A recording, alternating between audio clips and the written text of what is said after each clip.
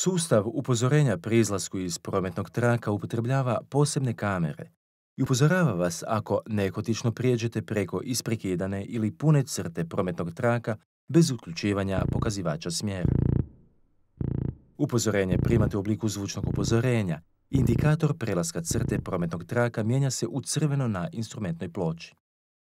Sustav je aktivan iznad 70 km na sat, iako se detektira razdjelna crta.